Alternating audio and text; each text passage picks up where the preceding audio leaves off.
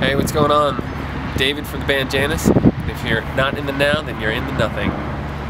So you guys are out with uh, Chevelle right now. So how's the uh, Chevelle tour been going for you? It's been going great. The crowds have been really great. Uh, I think every show's been sold out. Uh, and we're playing a lot of new stuff off the new record. We weren't sure how well it was going to go with the crowd when we first time hearing uh, the new songs. It's, uh, the record doesn't come out until March 27th, so it's been going great. We've had hits at just about all the shows. Um, yeah, it's been. We couldn't have asked for a better tour and a better response. Now talking about doing some of the new stuff live, do you see the crowd reacting to any particular song more than any of the others? You know, this new record in general is a bit heavier and darker than the last record, so um, I would say that there's a song right in the middle of the set called Promise to No One, which is probably the, one of the heaviest songs we've ever done. And typically, yeah, that's that's usually the turning point in the set where the crowd starts to get a little more physical, which is, which is awesome. Uh, we got 30 minutes opening slot on this tour, so Nice. get in, get out, get it done. Bust it out and go on to the next one. So talk a little bit about the new record. Um, how would you compare going in recording that one to the previous one? Um, this record, well, they say, and they say it, they're right. They say you have uh, all, your whole life to make your first record, and then about 10 minutes to make your second. And we actually uh, were fortunate to, to have a label that was gave us our freedom artistically, and uh, and then once we kind of got our bearings and the demos started to really come together, and we saw sort of a light at the end of the tunnel. That's when the deadlines kind of came and came quickly, and um, which in a sense I think it was good because it forced us to get our butts in gear and get the job done and work some late nights, which sucked, but I think it, it ended up being a much more cohesive record than the first because bits of that first record were written this year and then a couple of years would go by and then we'd write another song majority of it happened close to the end, but there were pieces of that record that were from, from a few years back. And uh, so, in that sense, I think that the, having very little time forced us to get our act together quickly.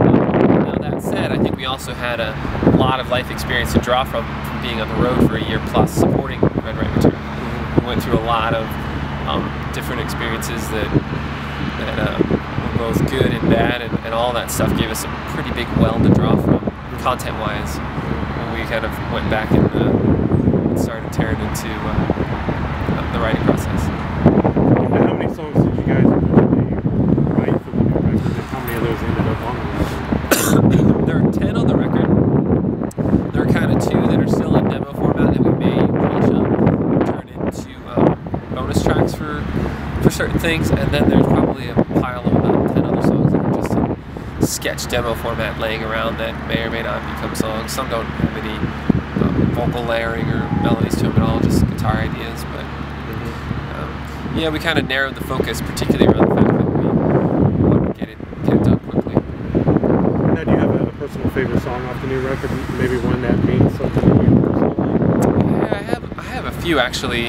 Um, Lifeless, which is a kind of a darker, heavier, sludgier tune, very different than anything off the last record, is one of my favorites. It's um, it's just got a it's, it's got a really strong kind of dark, heavy mood to it, which I really like. It's uh, it's a lot of fun to sing and play live. And then of course, Promise to No One, which is the the heavier heavier tune I talked about earlier. That one's just got crazy double bass going nuts and screams in it. It's a lot of fun to play live. It's, uh, it was a lot of fun to record too, just to kind of go in that direction hear it on tape. It's a good editing point so I think we're going by.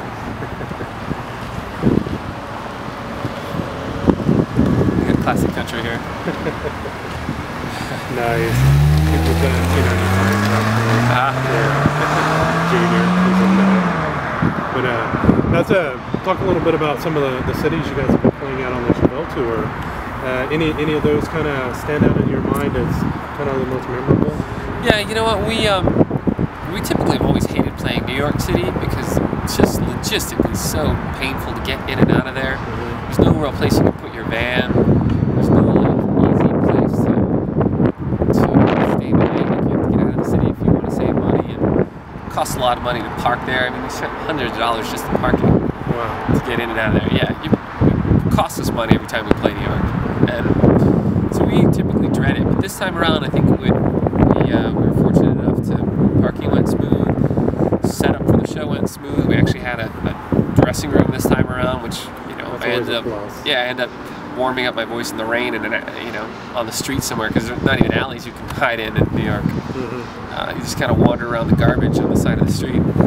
And um, but yeah, and then the show came off really well too. It was one of our, I think, one of our best shows on tour, and, um, which is good because whenever you play New York, there's all this. There's typically the label comes out, a lot of press come out. There's a lot of pressure Mhm. on those shows typically, and so that was a lot of fun. And then uh, Portland, Maine, which is just one of my favorite towns, way up north, right on the Atlantic Ocean. It's just a cool kick butt town and a really great theater that we played at. And uh, Niagara Falls actually was a blast. That was a really cool place, and the theater was really cool. It's this old haunted theater where, um, yeah, I guess they used to, the mob used to kill people in the basement of it or whatever, and some some uh, one of the actresses hung herself or something. She haunts like this other lower level. It was really cool. Now let's uh, flip to the opposite end of that. Um, are, are there any places that when you guys get out on the road, you're like, damn, we're gonna go back there again? Any place you've had a really bad experience? Um, yeah, I wouldn't. s- I, I can't say that there are. We haven't. Uh, you know, I would say New York's been the only one that we were kind of dreading. That we've had just a nightmare before logistically getting in and out of there. And um, but you know what? We had a great show this last time, so I have to scratch them off the list. Kind of made up for it. Yeah. Uh, talk a little bit about these crazy things. These social network sites, Facebook, etc. How, how have those affected you, you and your band? Um, I think they're I think they're good for the most part. I mean, they, they give us a really great vehicle to communicate with our fans on a one-on-one, pretty much up to the minute basis, and, uh, I think the fans appreciate that. I mean, ten year ten years ago, there's no way I could snap a picture from the stage um, of the crowd, and within 10 seconds getting off the stage, I post it to my Facebook, or Janus posted to the Janus Facebook page, and 50 people tag themselves in it, and all of a sudden all their friends see them at the show, you know, via our picture, and people are communicating, talking about it. Uh, it's just a level of connectivity that has definitely, I think, changed the way people uh, behave and interact with their fans. So I think it's good. Let's talk a little bit about uh, how you keep yourself busy out on the road. What, do- what do you do to occupy yourself in between shows? Um, Mike and I still uh, we work on our laptops. We do um, still have a day job of sorts to help pay the bills and stuff back in Chicago. Um, so he and I do like web, web design or and or print design. He's more on the development side. I'm more on the design side. Um, but outside of that, if we're not doing that, I, I'm in this routine now. I've been running for like half an hour, 45 minutes before the show. Um, it's getting a really good workout, getting the blood flowing and uh, and uh, our bass player and drummer they much just drink Crown Royal. the time they wake up to the time they go to bed. Nothing wrong with that. No, no they're big into uh, working out.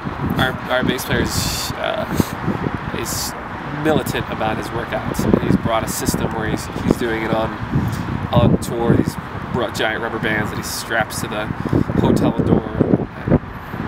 So yeah, he's super into that. Um, these guys are really into the show Walking Dead, I think. Or, Oh, yeah. Yeah, that's they're one of my constantly- yeah. they're constantly cuddling on the couch watching that. Yeah, it's kind of creepy. Well, they only got one more week of that, and then you don't have to worry about that till next season. so. Yeah, nah. Unless you buy it on DVD and watch reruns. What will they do with themselves? Uh, maybe they'll get into something. Anarchy. Yeah, maybe they'll buy another bottle of Crown. Oh, there you go. If, if we were to go through your music collection and your iPod or whatever, would, would there be any particular artists that would kind of throw us for a loop that you're listening to? Anybody that would surprise us? Probably. I'm a. Um, I love a lot of old, like super old Van Morrison, Nice. like Astral Weeks and his real outer space stuff. Um, not like the Brown Eyed Girl kind of uh, wedding stuff. Yeah. But um, yeah, he's just one of my favorite singers of all time. And uh, I would probably be the only one. That and um, I have a lot of these like guided meditation little MP3s and CDs that I've listened to that just kind of, for me, in, in order to sing really well, I'm just have to be super relaxed, like super zen down, and uh, those always help. So does the running. Running helps too. The endorphins. Mhm. Uh, they can just totally chill you out before a show and help you kind of get in the zone. Um, what's next for for you guys after the Chevelle tour? After this tour, we're we're back in Chicago for a couple weeks, and we're going to be doing um, some headlining dates in the Midwest. So we're going to be playing in uh, um, the Machine Shop, Flint, Michigan. We're doing our CD release party at Cubby Bear um, March 28th, Nice. and we're doing. Um, I think we're hitting Madison, Peoria, just some Midwest regional markets, and then we're going out for a couple weeks with Cavo. Wow, nice. I just heard the new Cavo record. It's actually really good. Cool. Yeah, Yeah, we're excited. We're excited to head out with those guys. I would say Cavo and your guys' record, and there's this uh, kind of obscure band called uh, Cocaine Mustache. Cocaine mustache. And uh, yeah, it's really interesting. They're uh, kind of my three favorites right now that I'm, I've been jamming on. So, Cool. Very cool. I'll have to check those guys out. So you got a copy of the new record? yeah, yeah. Nice. Well, I, not an actual copy, but they sent me a Some download MP3s. link, So yeah. Very cool. But uh, let's uh, kind of go back to the, the new record a little bit. Uh, you remember the the first time you actually heard the, the final mastered version of it? Yes, I do. I um I actually worked with um, this guy Chris Granger, who's a producer, mix engineer out of um, Nashville, and he and I mixed the record together. Um, he flew up to Chicago for a couple days, got the bones of the record sounding good, and then he flew back to Nashville. He and I kind of went back and forth. He would send notes, and I brought the mix to the finish line, and then. Um, um, and then we had a guy out in Precision Mastering out in LA mix it, and I'm gonna myself for forgetting his name. But um, he did an awesome job, and uh, I hadn't slept for about a month.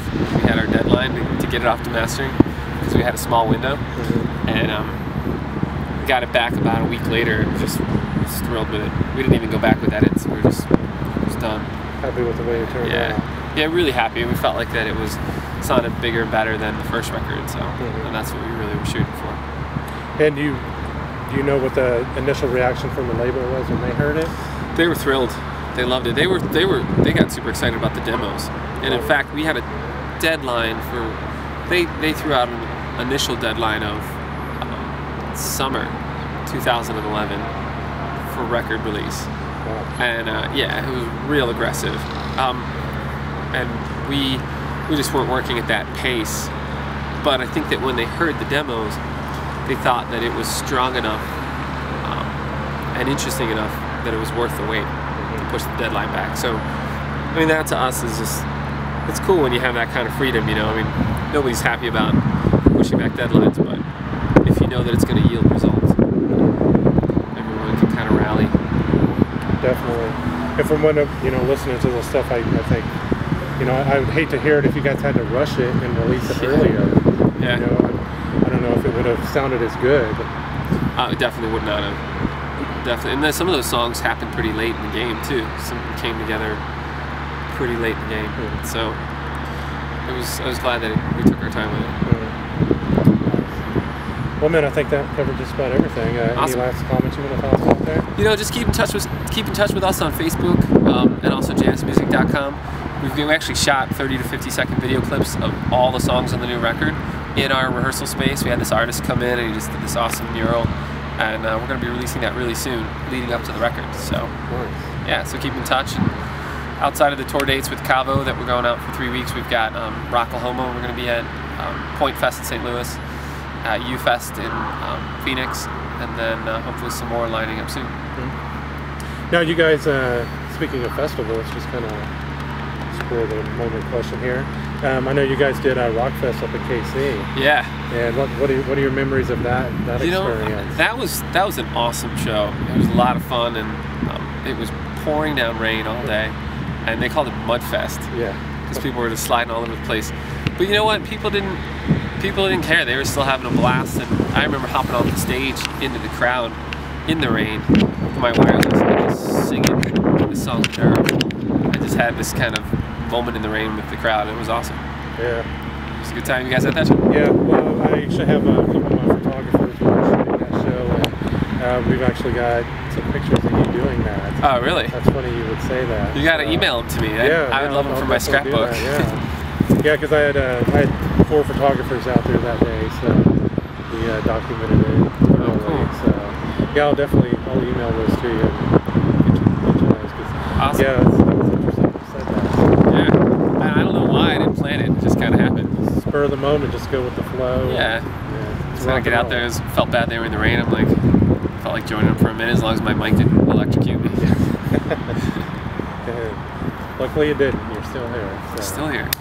All right, man. Cool.